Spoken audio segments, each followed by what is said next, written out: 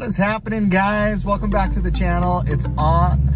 I can't even say my name. What is going on, fam? It is Austin with Gone in 60. Welcome back to the channel.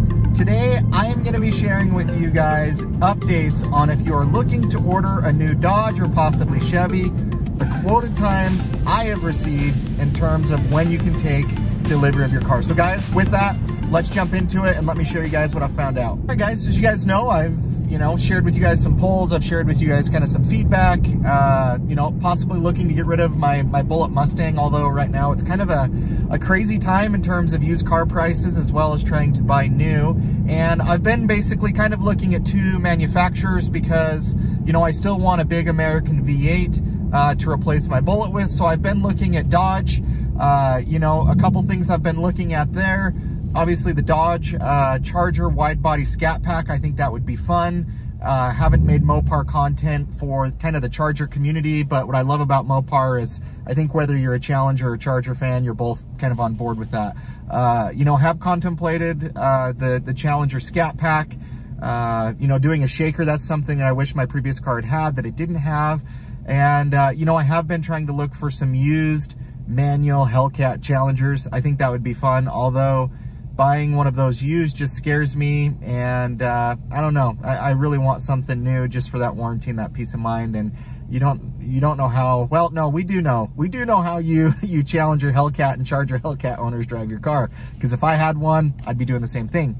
Uh, another option you know I've kind of been looking at is the Camaro SS 1LE uh, I love the looks of those cars. The inside of them is where I struggle kind of seeing out of Although I think it would be kind of cool to say, hey, I have owned a Dodge Challenger in manual, I've owned a Ford Mustang in manual, and now I've owned a Chevy Camaro in manual, and hopefully maybe bring you guys some cool comparisons of what I think between all three.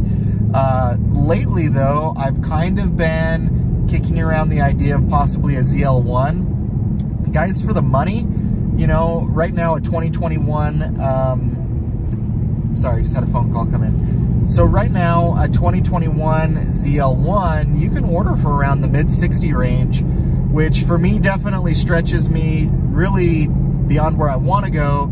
However, I can't get into a Charger or Hellcat uh, used even for that price or right around that price. So for something new, that would be pretty cool. But as I've made calls to Dodge and to Chevy to see like how realistic this could be, uh, I get a differing of opinions. Uh, obviously, this chip shortage has delayed a lot of manufacturers, so I want to share with you guys kind of the quoted times of what I received from both manufacturers um, in terms of when you can receive these cars. So as I looked at Dodge doing the Charger wide body scat pack, uh, the sales rep I've talked to said, hey, Austin, it'll be about eight weeks from the time you order it to delivery.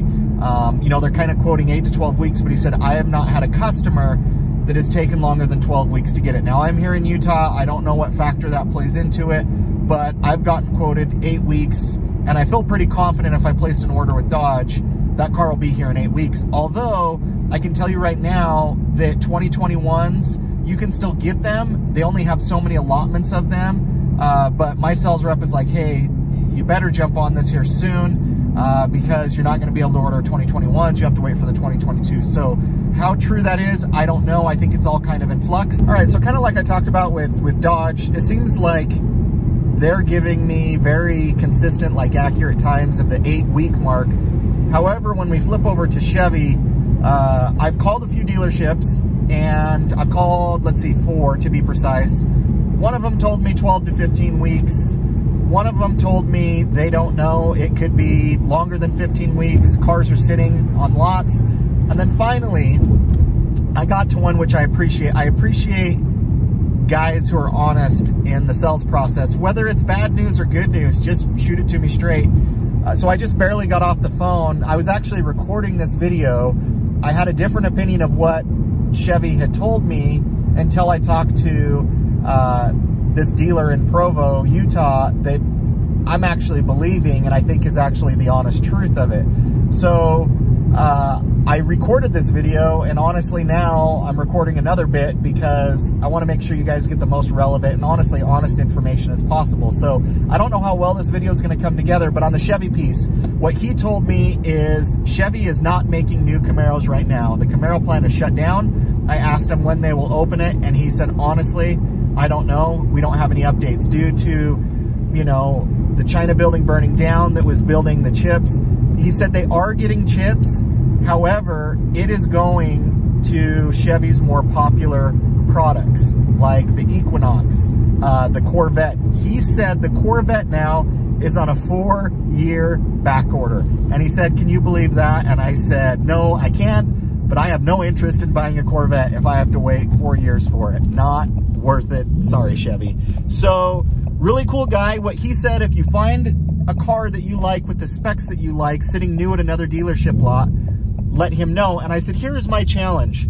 Like, you know, some dealers play this game and you guys got to be careful right now. They're pricing it at whatever they want. And it is, it is crazy. Like, it is nuts. Like these dealerships are getting away with highway robbery because they can, because there's no inventory.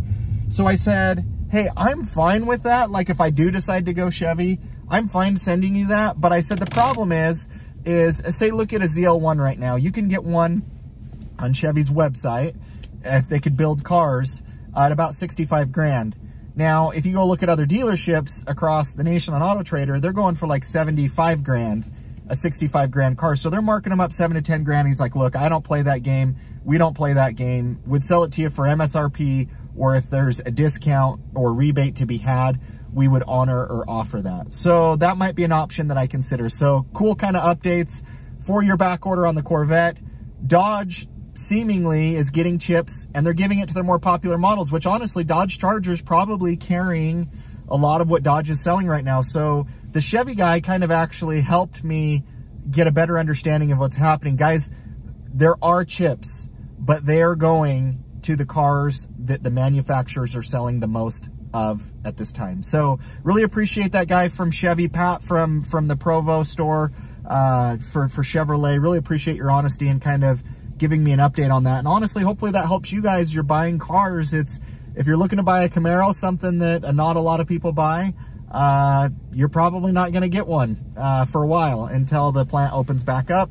Uh, but the Camaro plant is shut down. Dodge seems to be still running this because honestly, Scat Packs, Chargers, those things are selling like hotcakes. So it makes sense that they're getting chips and they can give me an accurate quote time. Guys, I'm Austin. This is Gone in 60. If you've liked this video, please give it a thumbs up, and we'll catch you on the next one.